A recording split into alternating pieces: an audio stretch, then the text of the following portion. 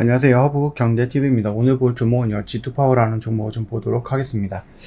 음, 5일선을 어저께 좀 깨버리고 이 양봉에 어, 저점 라인까지 깨버리는 모습이 연출이 되었는데 그렇다고 해서 이게 뭐 추세가 무너졌다고 보기는 어렵죠.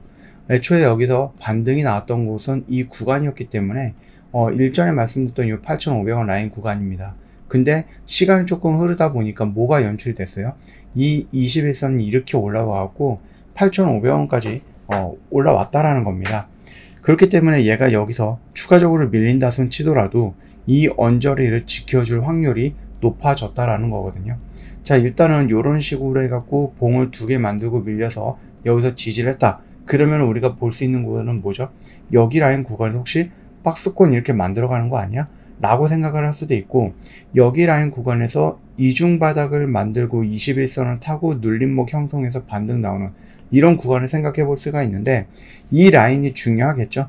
여기서 말 그대로 박스권을 그려갖고 저항받고 밀릴 것이냐 돌파하고 눌림받고 다시 만원 라인을 돌파해 줄 것이냐 이런 흐름이 어떻게 연출이 될지는 아무도 모르는 부분입니다.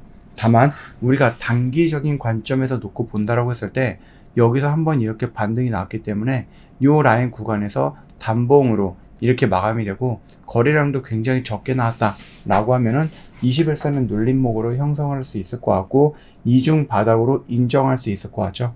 물론 이중 바닥의 완성은 어디에요? 결국 여기 라인을 돌파해야지 이런 모습이 연출돼야지 요 꼭지점을 돌파가 여기잖아요.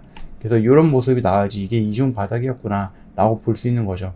이게 이중 바닥이 아니다라고 하면 여기서 또 맞고 밀려서 삼중 바닥이 만들어질 수도 있는 거니까 그거를 좀 참고해 주시면 될 것 같습니다. 역시 원전 관련해 갖고는 좀 필요로 하는 것들은 재료입니다. 물론 이제 뭐 성장 가능성이라든지 아니면 뭐 이런 것들도 있을 수는 있겠지만은 그럼에도 불구하고 더 중요한 것은 어, 지드파워 또는 원전 관련되어 있는 뉴스가 나와주는 것 그것만큼 중요한 부분은 없을 것 같고 이 뉴스가 뭐 우리나라에서 뭐를 했다 뭐를 했다 뭐를 했다 투자를 한다 이런 뉴스가 아니라 수주를 따냈다 또는 뭐 우리나라 이외에 다른 나라에서 우리나라에 관심을 갖고 만났다 그리고 뭔가를 협력을 진행하고 있다 이런 정도의 뉴스가 나와줘야 된다는 얘기입니다 가장 좋은 거는 이 수주 물량이 나왔다라는 뉴스이고 그럼에도 불구하고 추세를 유지시키거나 단기간에 추세선을 돌리기 위해서 또는 단기간에 저항 구간을 돌파하기 위해서 짜잘한 뉴스들, 조금 잽을 날리는 뉴스들, 그런 것들은 바로 이런 뉴스들이다라고 생각하시면 될 것 같아요. 그래서 이런 것들이 이슈가 나와줘야지 이 만원 라인을 조금 강하게 돌파하고 우리가 원하는 12,000원 어, 정도까지의 주가가 올라오는 것들을 어, 좀볼 수 있지 않을까 생각을 합니다. 그 점 좀 참고해 주시면 될 것 같습니다. 제가 영상을 올려드리면요 영상에 이런 링크를 어, 달아드립니다. 댓글에 링크를 달죠.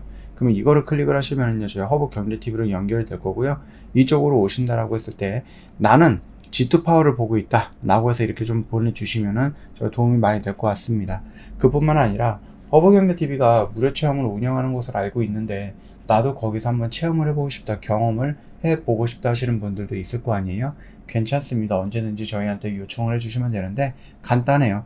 링크 타고 들어와서 여기다가 체험이라고 단어만 쓰면 됩니다. 너무 간단하지 않습니까? 이렇게 간단한 것을 귀찮다고 지난주에 밀어놨던 분들은 이번 주에 뭐 HLB 제약이라든지 뭐 AP 위성이라든지 가온칩스, 뉴로메카 이런 종목들 어, 매수를 못했을 거 아니에요. 수익을 못 챙겨갔을 거다라고 생각을 합니다.